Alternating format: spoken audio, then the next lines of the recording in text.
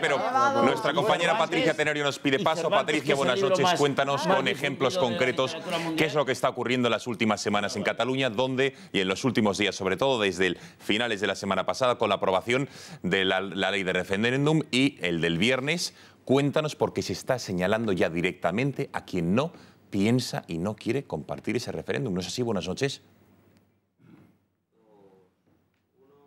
Buenas noches, Gonzalo. La fórmula de señalamiento al discrepante funciona. Y funciona bien en Cataluña. Los nacionalistas están marcando a dedo a los que se oponen al referéndum ilegal. No hablamos de marginar, sino de hacer un escrache. Y eso es lo que, entre líneas, pedía que se le haga a los alcaldes el pasado viernes el presidente de la Generalitat, Carles Puigdemont.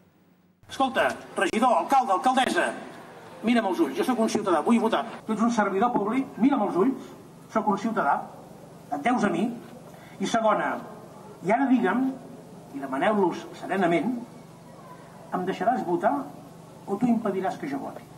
Después de escuchar esto de boca del propio Puigdemont, lo fácil es situarse al lado de quienes promueven la secesión. Lo arriesgado es hoy lo contrario, remar contra la corriente y con riesgo de señalamiento y ajusticionamiento.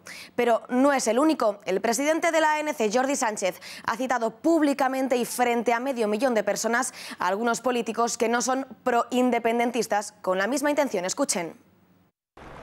Arrimades, Albiol i Feta, Coscubiela, no us amagueu darrere el soroll parlamentari per defugir les urnes. Arran, la rama juvenil de la CUP, ha intensificado su campaña a favor de la independencia de Cataluña y propone también señalar a quienes no comulgan con el 1 de octubre. A Senyalamenlos es el nuevo lema que los antisistema utilizan en carteles instalados, entre otros lugares públicos, en la fiesta mayor de Sabadell, Barcelona, concretamente en la zona de las barracas, punto de referencia de la juventud local. Veamos más ejemplos. Así como ven, con la fachada llena de pintadas se ha levantado el ayuntamiento del municipio de Palau de Plegamans. En Barcelona, un mensaje dirigido a su alcaldesa, Teresa Padrós, del PSC, en el que se compara el edil con Adolf Hitler y el régimen nazi y se le exige que saque las urnas para la celebración del referéndum independentista. Sin embargo, el ayuntamiento de la localidad, lejos de esconderlo, ha querido hacerlo público en su página de Twitter. Han dicho que la intolerancia nunca podrá sentirse victoriosa y lo acompañan con la fotografía. Y es que los habitantes de Palau de Plegamans ayer ya se concentraron para pedir votar. Vean.